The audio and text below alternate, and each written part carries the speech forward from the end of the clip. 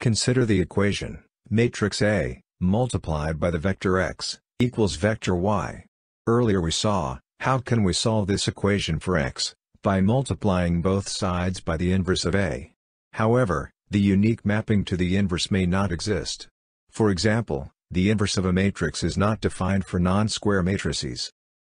We can still solve this kind of equations, using Moore-Penrose pseudo-inverse. In the formula for the pseudo-inverse of the matrix A, the U, D, and V, are the singular value decomposition of A.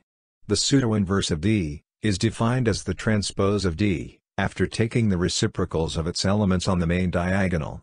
We can then find X, by multiplying the pseudo-inverse of A, by Y. Using this method to solve for X, if A has a unique mapping to its inverse, pseudo-inverse will be the same as the actual inverse. So we will find the exact X.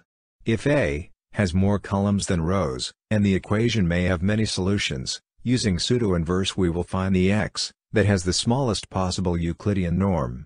If A, has more rows than columns, and there are no solutions, with pseudo-inverse we'll find X, for which Y, is as close as possible to A, X.